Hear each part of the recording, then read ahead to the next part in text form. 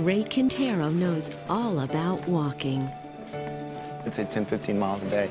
And that's, uh, I'm not shortchanging myself either. Oh, this is the shortcut.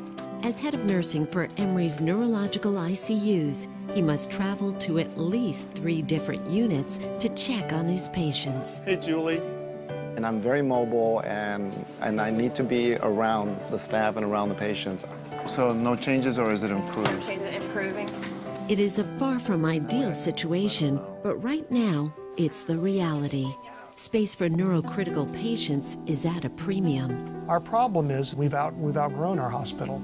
Outgrown the space and outpaced the design. As medical science and neuroscience has advanced dramatically, the physical environment, the place, has not changed at all.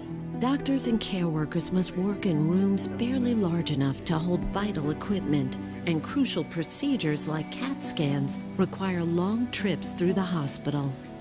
Right now, the CAT scan machine currently at Emory is on the opposite side of the hospital. It couldn't be farther away than where it is right now. I think people can relate about waiting for elevators. Sometimes you have to wait for several minutes before you get an elevator. Uh, think about this, waiting for two or three elevators at two or three locations, going through different hallways and in different locations of the hospital.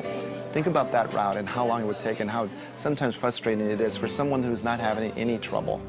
And then place a critical patient in your hands. And neurocritical patients often make this journey three or more times a day. It's stressful for them and a huge drain on the staff. It's sort of like a flotilla of small ships. A large bed with five caregivers often walking down the hallway, um, moving the patient. This takes people off the unit. Uh, it's very inefficient. Craig Zimring is working with us to change all that. He's helping to create a new, revolutionary neuro ICU from the ground up. We spent time with nurses, with family members, uh, with others to try and understand what they needed and what they wanted. The result is a design filled with creativity and innovation. This is an initial mock-up of the patient room that allows us to, to test how it works. It'll have a very wide doorway that allows beds and other equipment to be moved in quickly.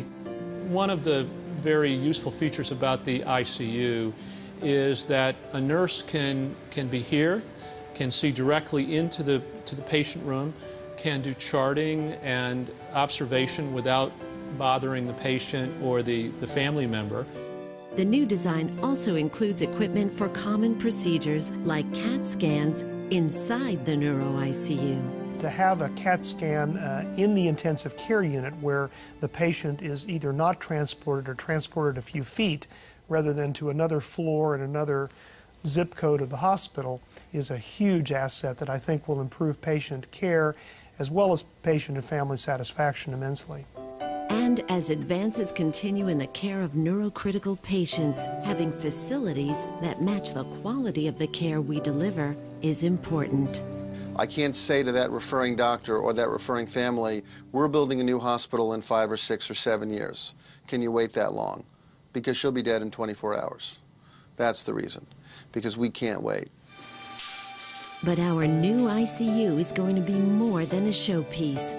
With plans taking shape for a new Emory University hospital, this design is an opportunity to try new ideas, evaluate patient outcomes, and use that experience to create a whole new kind of hospital.